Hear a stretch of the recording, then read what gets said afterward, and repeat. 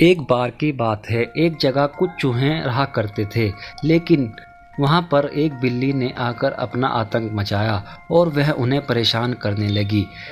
चूहे इस बात से बहुत परेशान थे और उन्होंने एक सभा बुलाई, जिसमें ये तय किया जाए कि बिल्ली से कैसे बचा जाए। इस बात पर चर्चा कर रहे थे। उनमें से एक बुज़ुर्ग चूहे ने उन्हें सलाह दी।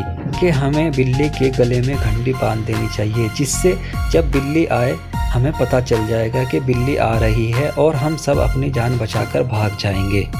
ये चर्चा चल ही रही थी कि तभी उनमें से एक चूहा बोला और कहने लगा कि ये सब तो ठीक है, लेकिन बिल्ली के गले में घंटी कौन बांधेगा?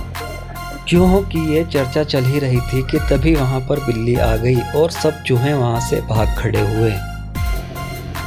तो बच्चों, इस कहानी से हमें ये शिक्षा मिलती है कि सलाह देना बहुत आसान है, लेकिन उस पर अमल करना उतना ही मुश्किल है।